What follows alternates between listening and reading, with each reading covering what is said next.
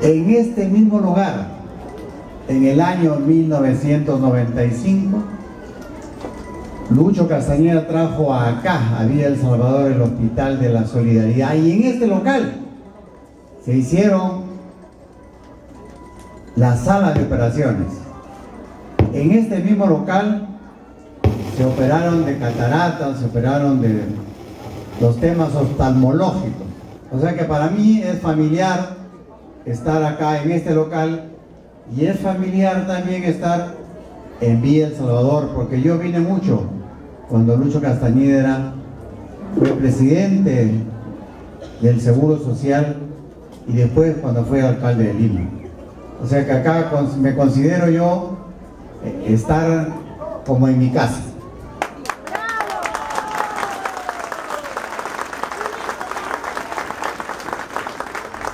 Quiero traerles el saludo cariñoso, fraterno y solidario de Lucho Castañeda.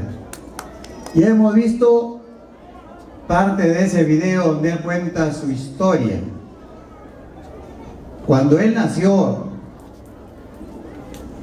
un 21 de junio, su madre, dos días después, murió.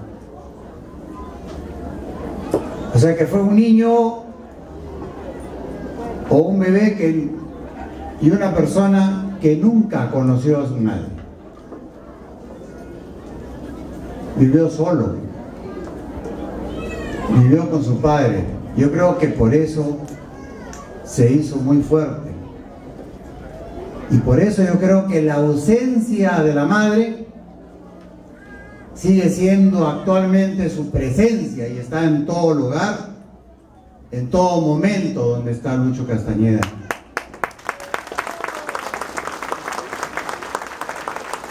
Por eso es que entiendo ahora su gran preocupación social. Entiendo por qué quiere tanto a las madres, a la población.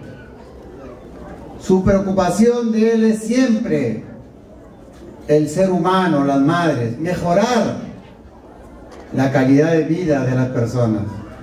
Y para mejorar la calidad de vida de las personas, él ha hecho mucho. Cuando fue alcalde, por ejemplo, hizo toda la infraestructura, hizo los hospitales de la solidaridad, hizo el club acá, el club de Vía El Salvador.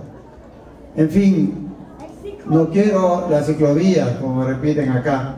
No quiero enumerar ahora porque no terminaría nunca porque hizo más de 4.000 obras. Lo que quiero ahora es solamente transmitirle su cariño y su saludo por el Día de la Madre. Que la pase muy bonito.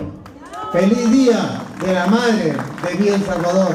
Feliz Día de la Madre limeña y feliz Día de la Madre de todo el mundo. Muchas gracias.